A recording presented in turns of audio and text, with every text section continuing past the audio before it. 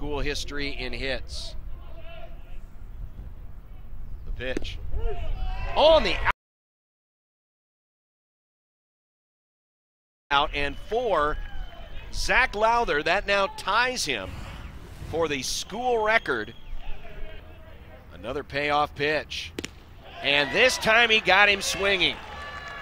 Went with the fastball away, and Galazin trying to protect the outside corner one last time. Could not foul off this one.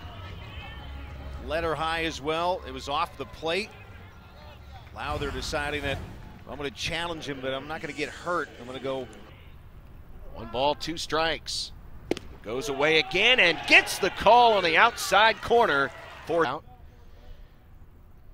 Here's the one two and a swing and a miss, and that was just some high cheese. So St. John's still unable to take advantage as he dials up his fifth strikeout.